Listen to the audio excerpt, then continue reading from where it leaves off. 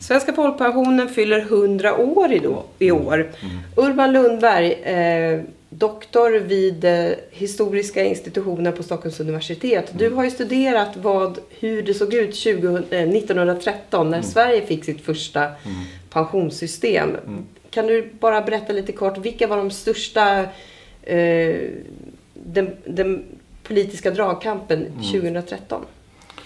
Alltså det, det, är en dragkamp som löper i lite olika ledder och som man får som skärs efter lite olika breddar och den följer inte på något naturligt sätt alltså vår tids eh, höger-vänster-skala eller hur man ska uttrycka det. Utan att det är ju den, jag skulle säga att en av de stora frågorna det gör, gäller då relationen mellan stat och individ. Alltså var går gränsen för statens ansvar för medborgarnas välfärd? Vad kan man förvänta sig eh, utav att staten ska klara av vad gäller att eh, skapa grundläggande välfärd för enskilda medborgare och så vidare. Där, och det här tyckte man då väldigt olika om.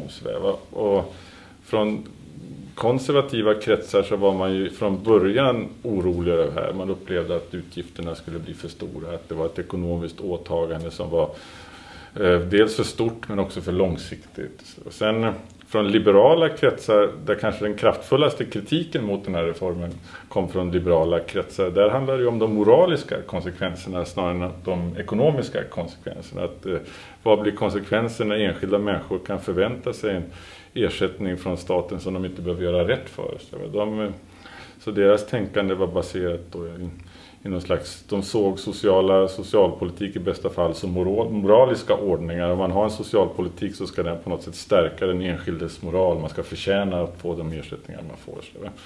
Sen från socialistiskt håll så var man ju mera bekymrad över att de förslag som presenterades var så otillräckliga. Att de inte på något grundläggande sätt skulle egentligen göra livet enklare för vanliga människor, i första hand arbetare. Så, mm. så att det, det, finns många olika konflikter Eh, linjer. Men på något sätt så lyckas man till slut hitta en, en kompromiss mm. kring ett system som reellt sett då var, inte var särskilt förmånligt. Men alla var inkluderade så det var ju stort i och för sig. Mm. Mm. Idag står ju många länder runt om i världen inför liknande diskussioner, mm. eh, kanske med andra politiska inlägg, mm. men man håller på att bygga upp egna sociala trygghetssystem. Mm. Och sociala trygghetssystem är också någonting som på den globala utvecklingsagendan diskuteras mm. allt mer. Mm. Varför tror du att man gör det just nu? Ja, alltså jag tror, dels så tror jag att man har väl säkert sneglat mot eh, Eh, europeiska erfarenheten på det här området. Och man har och väl också finns en växande insikt om att socialpolitik inte bara representerar en kostnad utan det är också en, en slags investering som man gör. En investering i människors välfärd och i deras utbildning och i deras trygghet gör att man får medborgare som är mer flexibla, de är mer välutbildade de vågar satsa och agera på ett helt annat sätt i en, i en växande ekonomi.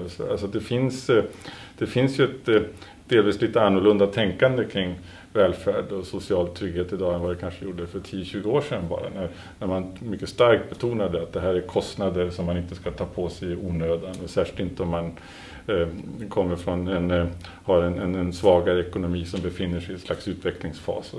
så mm. det tror jag är det ena.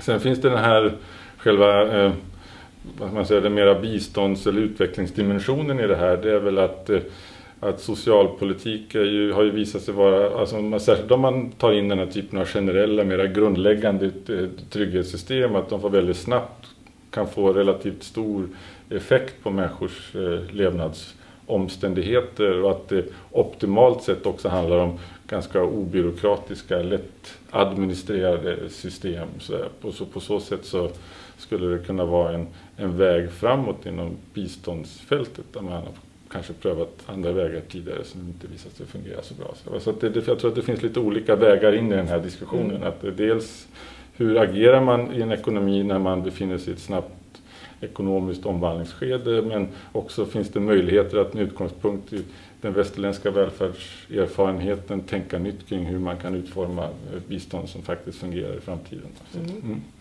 Och utifrån din forskning och all den kunskap du eh, sitter på. Vad skulle du vilja skicka med eh, i den här diskussionen och eh, att man ska mm.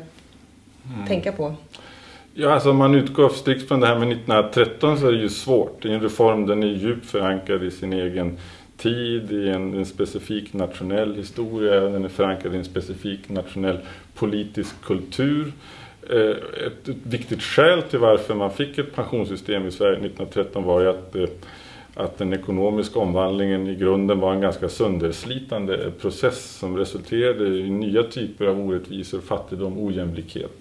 Och i det här är ett skede när man det etablerade samhället, det politiska etablissemanget eller den gamla överheten oroade sig för de politiska tendenser som man kunde se nere på kontinenten med en framväxande arbetarrörelse. Så det är en väldigt sammansatt bakgrund till den här reformen. Klart att den beslutssituationen går ju inte att återskapa i något annat land idag. Villkoren blir helt annorlunda. Alltså. Men däremot kanske man kan ta med sig vissa mer grundläggande lärdomar. Att, eh, att det här med Eh, socialpolitiska satsningar, att det inte självklart står i någon absolut förbindelse med någon ekonomisk välstånd eller ekonomisk tillväxt utan man kan göra rätt betydande satsningar under relativt ekonomiskt fattiga omständigheter. Så det viktiga är hur principerna utvecklas. Och det andra är att det handlar om otroligt långsiktiga åtaganden som ska fungera under många generationer i många fall. Och att, eh, då blir det viktigt att titta på den politiska kulturen, vilka former man har för att anpassa de här systemen till nya omständigheter. Och sen tror jag en tredje aspekt eh, som är väldigt viktigt, det handlar om att eh, eh man tenderar att se på socialpolitik, eh, särskilt i sådana här policydiskussioner, som tekniska frågor. Att man ska utforma optimala förslag och sådär. Men att det, det, finns en väldigt djup politisk dimension i detta också. Att eh, slår man in på en väg där man satsar på sådana här system så att det är viktigt med den demokratiska legitimiteten. Att den bygger på ett engagerat förhållningssätt mellan politiker och medborgare, mellan politiker och sociala, eller sociala ingenjörer eller experter. Mm. Tack så jättemycket. Mm. Tack, Tack själv. Mm.